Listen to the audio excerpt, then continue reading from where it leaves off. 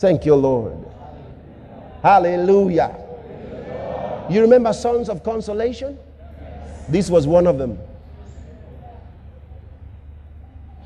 One of the Sons of Consolation.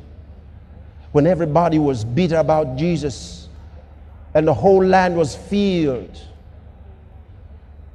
with bitterness, hatred, unbelief, fear was in the air. It was an hour you didn't know who to trust. Even Judas Iscariot was negotiating the master at a price. Jesus had this disciple he could trust. And he knew this man would not betray him or let anybody know where he was. And he talked with him and prepared. And then the man said, Let the master know everything is all right. And Jesus came there secretly with his disciples. That night, tell somebody, say, I'll never forget it. I'll never forget it. Never forget it, brothers and sisters. That night, he sat with the twelve and had dinner. When he was through with the dinner, he took bread and broke it and gave to them. He said, This is my body. And they were looking at him. What was he saying? Peter, his body? Yes. He said, This is my body. He broke it and said, Eat it. At that moment, they realized this was not just an addendum to the meal. They didn't understand what was going on yet. Was he saying? Then it began to dawn on them when he took the cup. He drank of it. He said, Now, this cup is the New Testament in my blood, which is shed for many for the expiation, the purification of sins.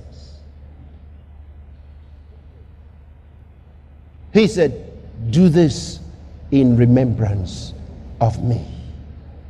What is the Master saying? Paul was not there. These guys didn't understand what Jesus did. And after the ascension of Jesus, they were breaking bread from house to house without understanding what was going on. They just did it because Jesus said, Do it in remembrance of me. So every day they did it without understanding what it meant. But Paul declares, He says, I have received of the Lord. Hallelujah. That revelation he said, the same night in which he was betrayed, he was not there. He got it in a revelation. He saw it in the visions of God. And God showed it to him and let him know the meaning of it. He said, the same night in which he was betrayed, he took bread. When he had given thanks, he broke it and gave it to the disciples and said, Eat it. In the same manner, also, he took the cup when he had supped and gave it to them and said, Drink and do it in remembrance of me. Then he made a very powerful statement. He said, As often as you eat this bread and drink this cup, you show, that means declare the Lord's death till he comes again. He says, Anybody who eats of this bread or drinks of this cup in an unworthy manner shall be guilty of the, the body and the blood of the Lord. For this cause, many are weak and sickly among you, and many die because they do not discern the Lord's body. He is telling us there is a revelation in this thing. He says, as often as you do it, you are declaring the Lord's death. What does it mean to declare the Lord's death? When you take the communion, what does it mean, brother? Here you are, you've been suffering, something's been going wrong in your life. Maybe family members have been dying. You come to the point in your life, you say, I've had it. It's enough.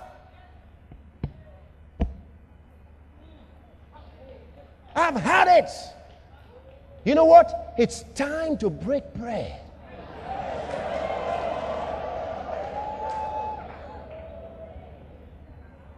The things that don't seem to be working in your life. You say, What is all this? It's time to break bread. Why do you break bread? He says, As often as you eat this bread and drink this cup, you show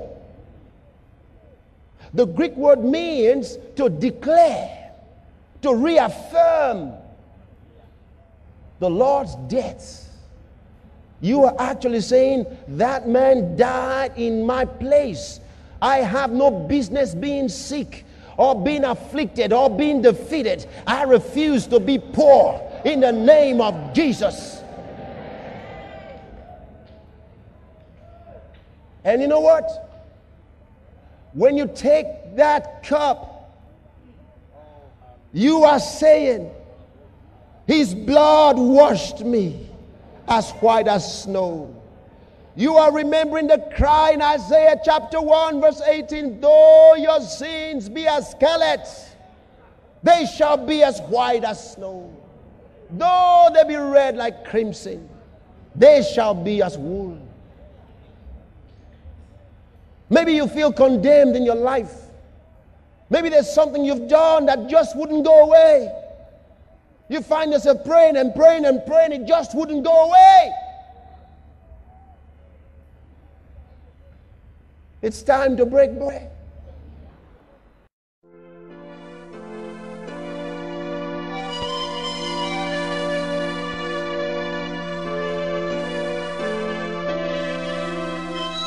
Please turn this tape over for the continuation of this message. At time, you've got to have that bread and have that cup. His body was broken for me. And you go. His blood was shed for me. For the remission, the removal. You know the meaning of remission? It means to take away, to blot out, to remove, completely wipe away.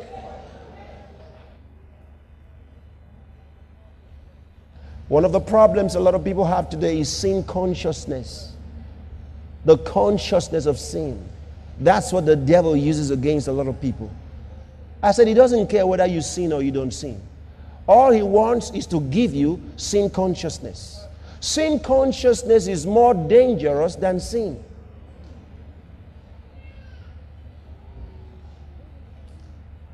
When you believe you are just not good enough for God, when you believe there's something more you need to do, you're in trouble.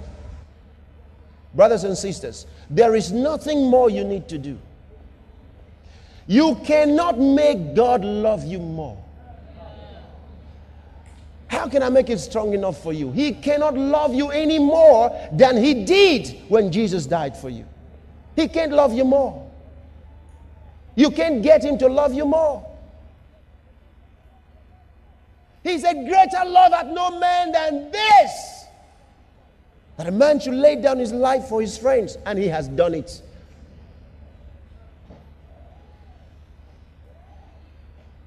What should you do now? Act on His love. Act on His love. Take advantage of His love. Oh, thank you, Lord Jesus. Thank you, Lord Jesus. Thank you, Lord Jesus. Thank you, Lord Jesus. Thank you, Lord Jesus. With that understanding, you just walk out of bondage. You just walk out of fear. You just walk out of pain. You just walk out of poverty. You just walk out of it. You just walk out of it. You just walk out of it. You walk out of condemnation. It requires no extra prayer and fasting. You just walk out of it. You just declare who you are in Christ. Somebody says, Is that all? then what did he mean when he said, As Moses lifted up the serpent in the wilderness? All you had to do was look. Hey, let's look at the woman in the Bible. Jesus is somewhere sitting, there's a crowd running. Ah, the master raises his head. The hundreds of people after one woman. They are running after the woman, and she's running, running, running. Finally, she gets to where Jesus is, and she's panting. And the rest of them come. They find Jesus, and they feel like, yeah, we've gotten him. So they surround him. And they say, All right, Rabbi, we caught this woman in the very act of adultery. The law of Moses says to stone her to death. What do you say? You know what? They have their stones. Read the Bible. They were holding their stones. They were ready to fix him, and the woman too. So they said, The law of Moses says to stone her to death. What do you say?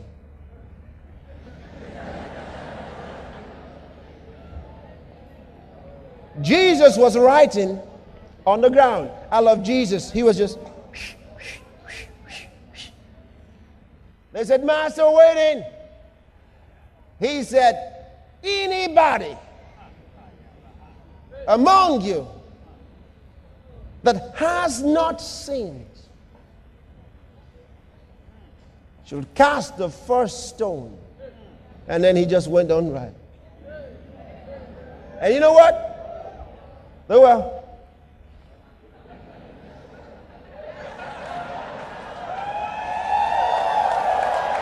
And one by one,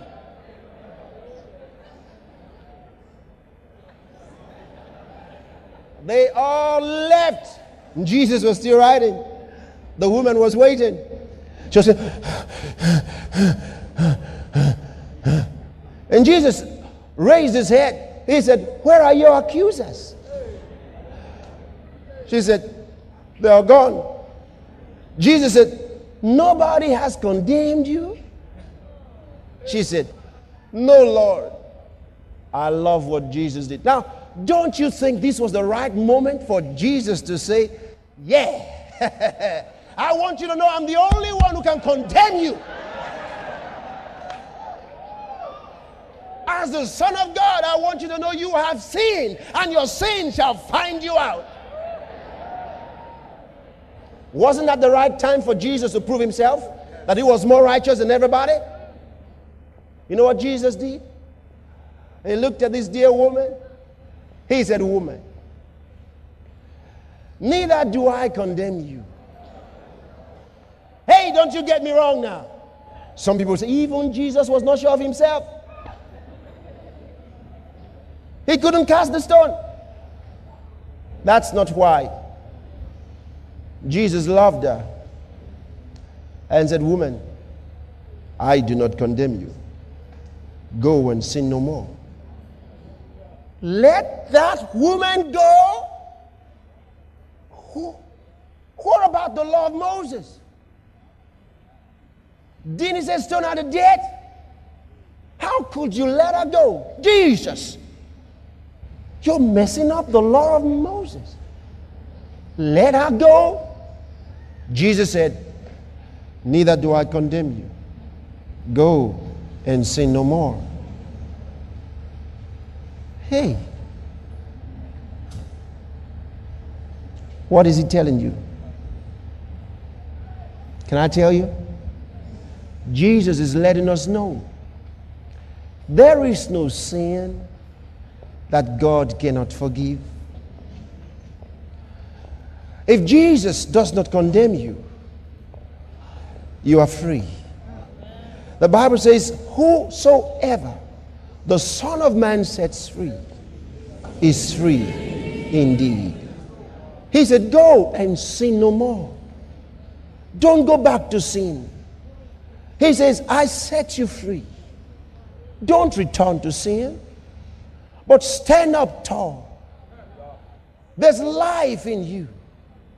The nature of God above sin, the nature of righteousness that makes you white, as pure as God. Hallelujah. Because you have His purity, you have His righteousness, you have His nature. His blood has purged you. Tonight, as we take the communion,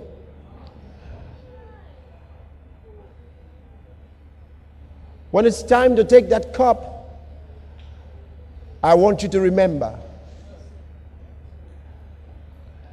every uncleanness in your life is taken away. Every uncleanness. I tell you, there's power. There's power. There's an anointing. In the Old Testament, he said you should put the blood on the doorposts and the lintels of your house. So that when the death angel comes to town, when he sees the blood, he will pass over you. Hallelujah. When you understand the blood that was shed for us, the darkness cannot stay in your house. Are you hearing me? The darkness cannot remain in your life, it cannot remain in your home.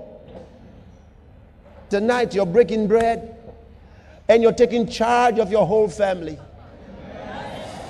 Because of that covenant. Hallelujah. Everything that is not of God in your life, today you will cancel it by yourself.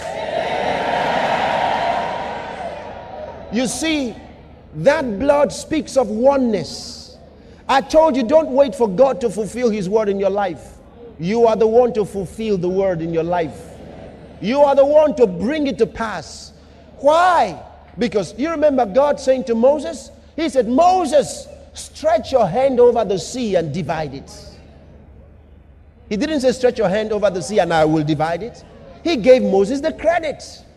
What is God saying? He's saying to you, whatever change you want to effect in your life, in your family, in your home, in your job, in your finances, whatever change you want to effect, go ahead and do it. Remember, the blood makes us one with Jesus. The Bible says, He that is joined to the Lord is one spirit. So we are one spirit. So the Bible says, We are members of His body, of His flesh, and of His bones one together with him. The Bible says, Don't you know that your members, oh boy, this is one of those revelations of God's word that a lot of God's children have never understood. He says, The members of your body are the members of Christ. Let me explain that to you. He is telling you in that scripture that your hand, this hand, belongs to Christ and is a member of Christ. This one is a member of Christ. Do you understand? He says, How can you give the body of Christ? He's talking about your physical body. He says, How can you give the body of Christ to become a member of a harlot? In the same way, if you will not accept to give your body to a harlot to become one with a harlot, do not give it to cancer. Do not give it to disease. Do not give it to sickness. Do not give it to HIV. Don't give it to any kind of pain. Why? Because it is the Lord's body. Your body has become the Lord's body. Hallelujah. You know, as we're sharing now, there is an anointing. There is an anointing. There is an anointing. Glory to God. There is an anointing, an anointing of the Holy Ghost that's working right now. Hallelujah. I said, the anointing of the Holy Ghost is working right now. Thank you, Lord Jesus.